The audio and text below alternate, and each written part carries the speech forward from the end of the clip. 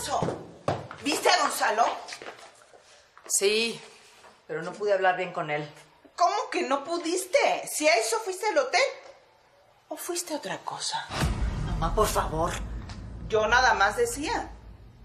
No pude hablar con él porque nos interrumpieron. Además, me encontré con Inés. ¿Con su mujer? Sí. ¿Y qué le dijiste? Espero que por fin te hayas plantado y le hayas dicho toda la verdad. Por supuesto que no, mamá. Pues muy mal hecho. Ya es hora que su mujer y su familia sepan qué clase de hombre es Gonzalo Mourad. ¿Y echarme la soga al cuello? Ay, hijita. De verdad no entiendo por qué eres tan tonta. No es echarte la soga al cuello, al contrario. Mira, con eso se acabarían nuestros problemas. Si esa señora se entera de tu relación con Gonzalo, lo va a dejar. Y él por fin te va a poder cumplir. No, mamá. Al contrario. Gonzalo nunca me lo perdonaría. Y tú sí eres capaz de perdonarle todo. Yo no estoy con él por su dinero, mamá. Nunca lo has entendido. Yo amo a Gonzalo. Y lo único que quiero es que me demuestre de una vez por todas que sí me ama. Que sí soy la mujer que lo hace feliz y que por eso prefiere estar a mi lado, ¿entiendes? Ay, Mónica, Mónica, mírate en mi espejo. Si no le exiges nada a ese hombre, vas a terminar como yo.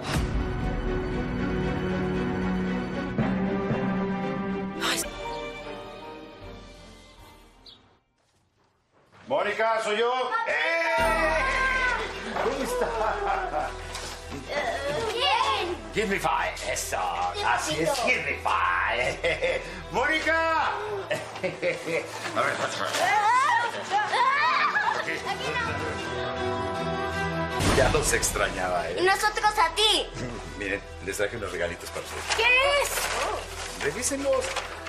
¡Wow! ¡Están increíbles! Son para los dos. ¿Cómo se dice, niños? Gracias, papá. De nada, mis niños hermosos.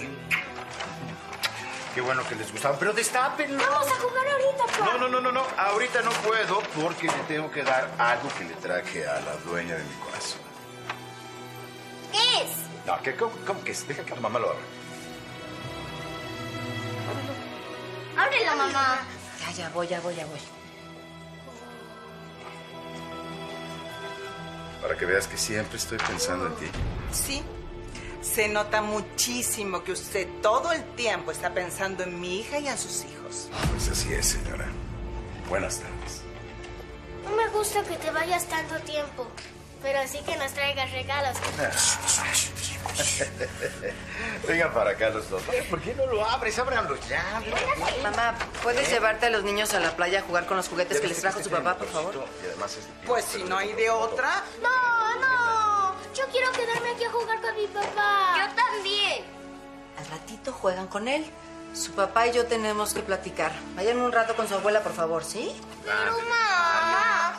Niños, niños, por favor. Hay que obedecer a la jefa de la casa. No te regalo. dejes deslumbrar por ese regalo y olvides todo lo que tienes que exigir.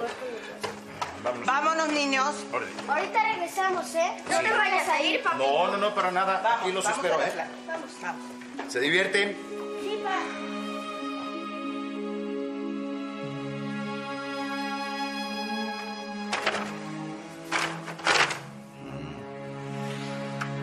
Huele delicioso. Gonzalo, no estoy para eso. No estoy nada contenta contigo. Me hiciste sentir muy mal en la mañana sacándome de la oficina como si yo fuera cualquier otra persona. Ah, pero tú sabes que no eres cualquier persona y lo sabes muy bien. Si lo único a lo que viniste es a satisfacer tus deseos, es mejor que te vayas de una buena vez. No me hagas sentir como si yo fuera una golfa. Mónica, yo, yo no, no quiero perder el tiempo en discusiones. Ya estoy aquí, que es lo que querías. ¿no? Es muy fácil para ti llegar y hacer como si nada hubiera pasado. Pero pasa que estoy harta de tener que esconder lo que hay entre tú y yo. Además, tus hijos están creciendo y cada vez me preguntan cosas que yo ya no sé cómo contestar. No tienes que darles muchas explicaciones. Ellos saben que trabajo mucho y que por eso no puedo estar todo el tiempo con ustedes. ¿Y no crees que ya llegó la hora de que seamos una familia normal? Ya está avanzando en la primaria y empieza a comparar su vida con la de los otros niños. Además, tú eres un hombre importante. Tu nombre es conocido y no tardará en atar cabos. Tú me prometiste hace mucho tiempo que te ibas a divorciar y a darles una familia a nuestros hijos. No lo has cumplido. Las cosas se han ido complicando, Mónica. Yo... Claro, debe ser muy complicado llevar una doble vida, pero siempre le das prioridad a ellas. Primero, pusiste el pretexto que tus hijas eran pequeñas, que te necesitaban cerca. Bueno, pues ahora son mis hijos los que están pequeños y necesitan a su padre. ¿Qué pretexto me vas a poner ahora para no divorciarte y casarte conmigo? No sé por qué me reclamas. Tienes absolutamente todo lo que quieres, no te falta nada. A ti, a los niños, a tu madre. Te aseguro que ninguna de ustedes imaginaba vivir con la vida resuelta como la tienen ahora y rodeada de tantos lujos. Es que no quiero estos lujos. Te quiero a ti. ¿Me tienes? Quiero tu compañía. Quiero dormir a tu lado todas las noches. Pasar la Navidad, tu cumpleaños juntos. Tú siempre supiste que era casado, nunca te engañé. Pero prometiste hacerme tu esposa desde que me embaracé de René y no has cumplido.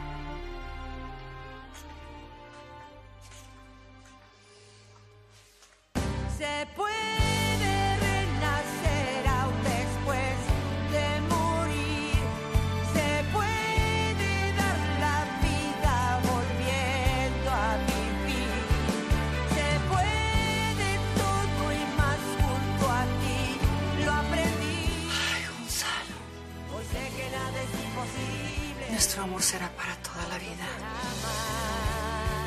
Qué triste que para ti las hijas que tienes con Inés sean más importantes que los hijos que tienes conmigo. No, no, no, no, no, no. Eso no es cierto, mi amor. No seas malita, ten un poquito más de paciencia, ¿sí? No eches a perder todo lo que tenemos. De verdad, tú no sabes lo importante que es para mí tenerte. Saber que puedo llegar a tus brazos y perderme en ti. ¿Estoy llegando a mi límite, Gonzalo? Bueno, espera un poco más, te lo suplico, ¿sí? ¿Me juras que en cuanto tus hijas se vayan dejarás a Inés? ¿Y yo podré gritar a los cuatro vientos que nos queremos? ¿Y que tenemos una familia? Te lo juro. Te juro que así será, mamacita.